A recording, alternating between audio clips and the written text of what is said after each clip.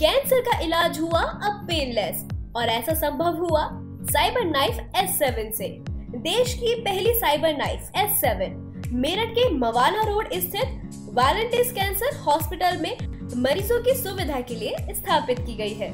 UP police भर्ती में करीब 40 लाख अभ्यर्थियों के जीवन से खिलवाड़ करने वाले पेपर लीक कांड में मेरठ एसटीएफ ने बड़ी सफलता प्राप्त करते हुए गुरुग्राम के नेचर वैली रिजॉर्ट से उसके मालिक सतीश धनखड़ को गिरफ़्तार कर लिया है।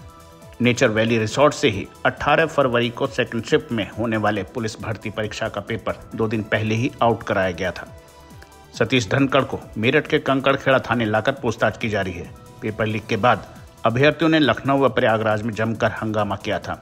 इस पर योगी सरकार ने परीक्षा निरस्त करते हुए आगामी छह माह में पुनः परीक्षा कराने का दावा किया है।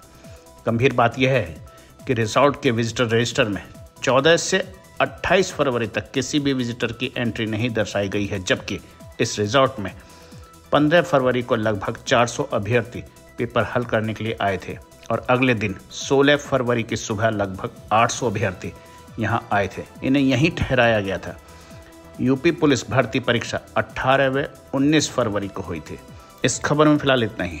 आप देखते रहिए फ़र्स्ट बाइट डॉट टीवी। नमस्कार। Vartaman academy and English medium coeducational senior secondary school classes from nursery to twelfth smart class room wifi computer lab advance maths and science lab well stocked library best environment for games yoga and music Vardhaman academy railway road